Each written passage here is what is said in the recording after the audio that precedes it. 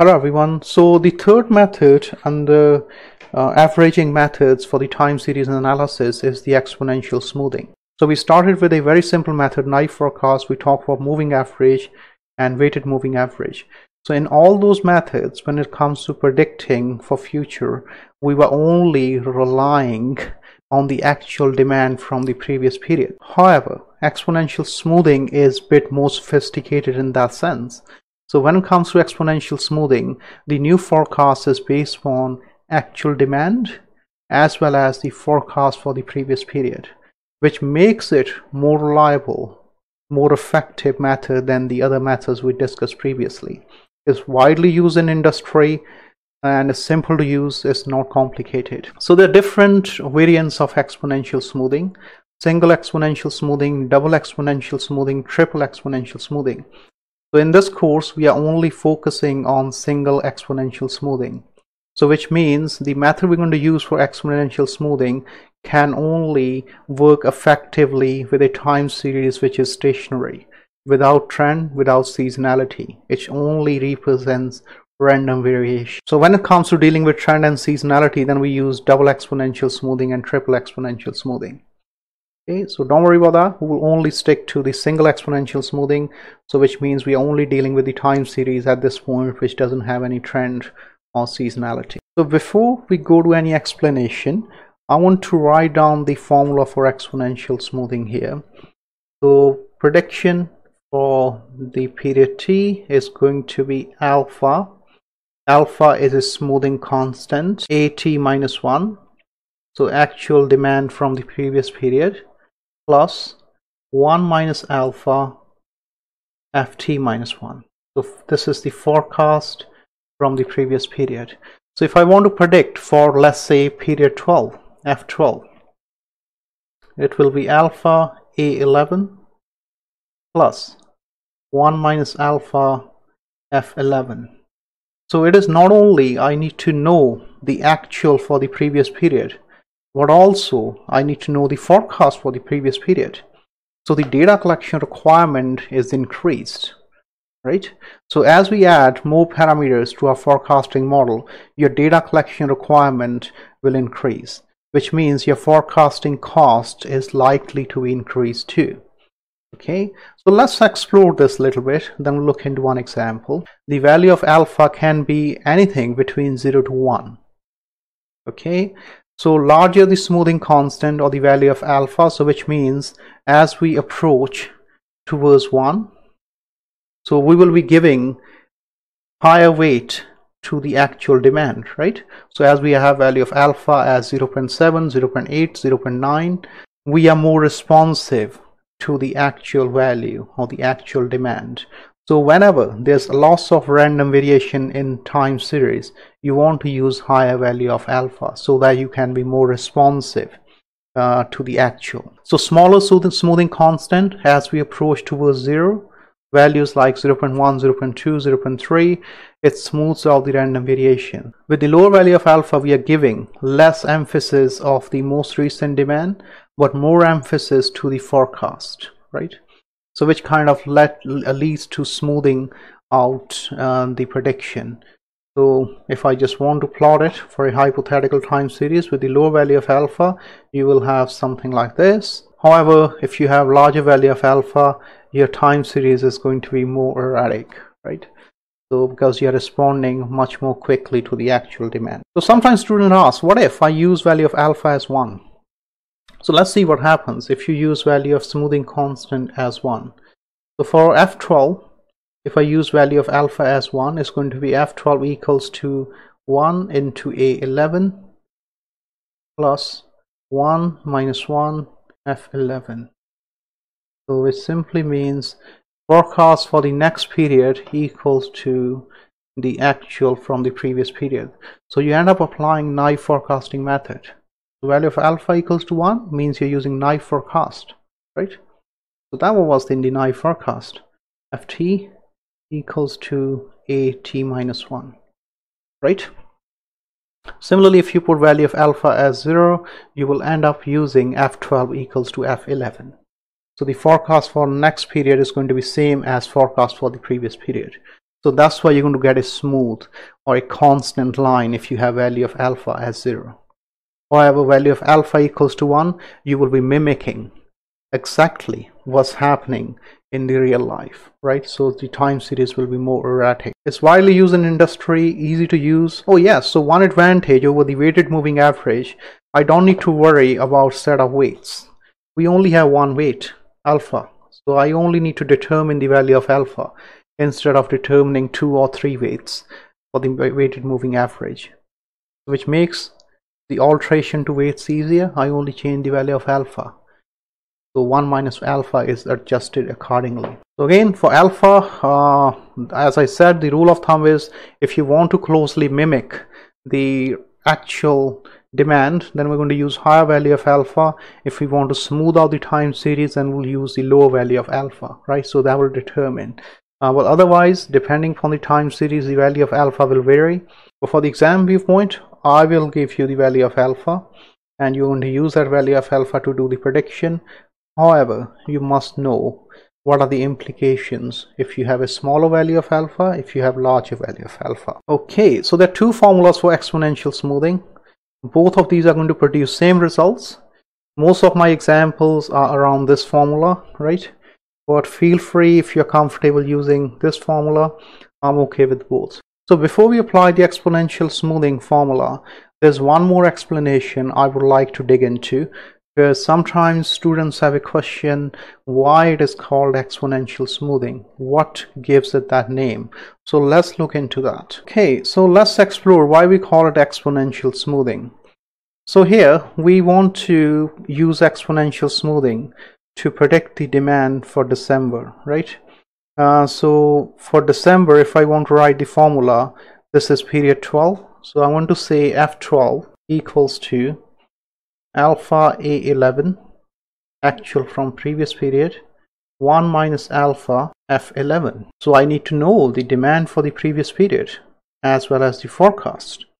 So this is F11 so if I don't have forecast for previous period I need to calculate for F11 so F11 is going to alpha A10 plus 1 minus alpha F10 and as goes on right? So from here, what I can write is F12 alpha A11 plus 1 minus alpha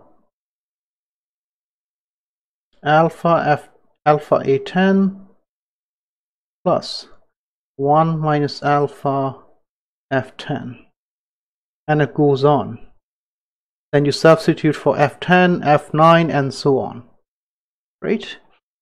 So once you solve this entire equation, what you will end up having, you will have alpha A11 plus alpha 1 minus alpha A10 plus alpha 1 minus alpha square A9 and so on. Alpha 1 minus alpha cube A8 1 minus alpha to the power 4 a7 and so on. So the idea here is as you move uh, further further into the period it is going exponentially right? So that's why it is called exponential smoothing well we don't need to do all this derivation. So this is just for your understanding why we call it exponential smoothing. Okay so let's start with the theory and let's apply the exponential smoothing method to calculate the forecast for, for December. So again I have period which is given here as months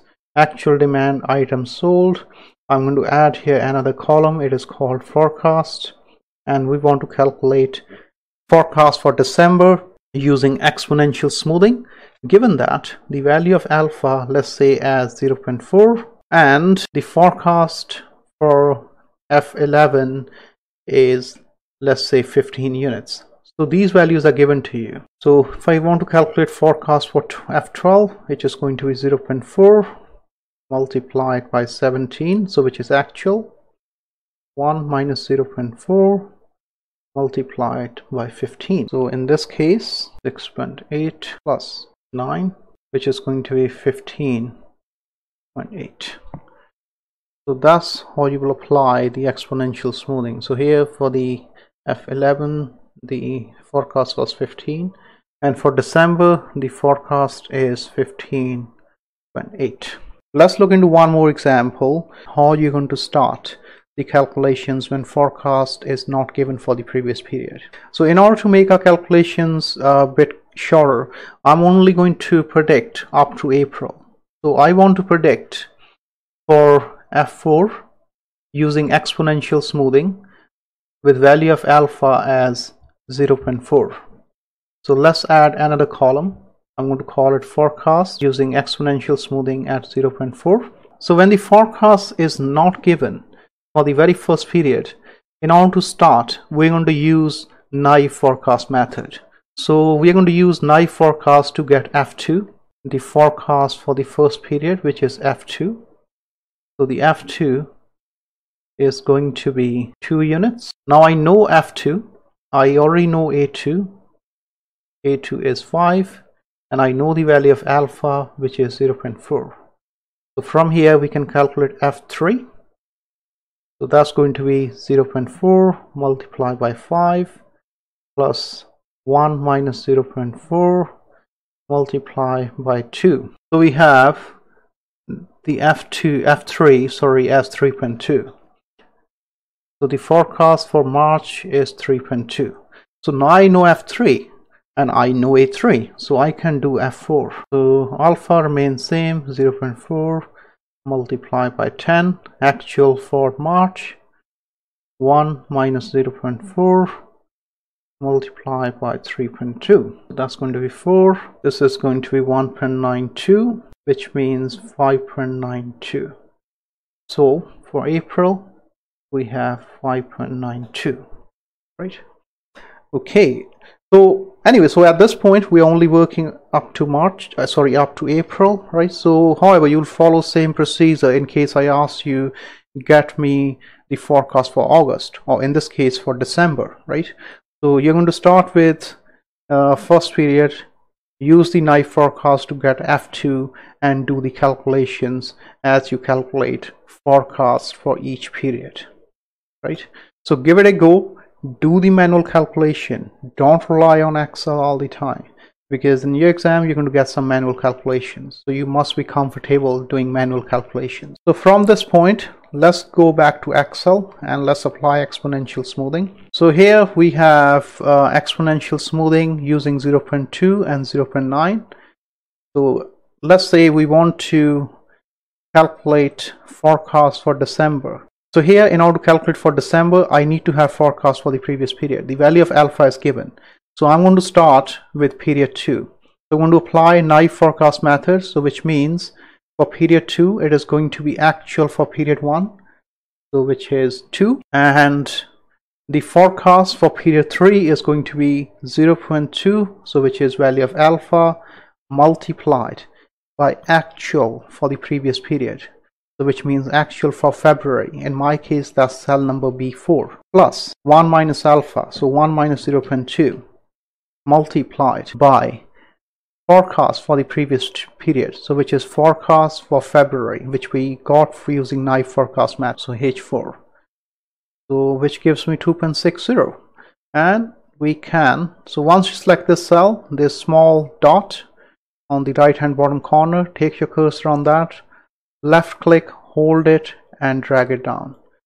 So the formula will be applied or will be copied to the next cell. So for instance if we look for April then April is going to be 0.2 times B5 so B5 is the actual for March plus 1 minus 0.2 multiplied by H5 so H5 that we calculated as 2.60 and so on right? So make sure if you are new to excel you don't know how to apply formulas so you may need to spend a bit of time on this.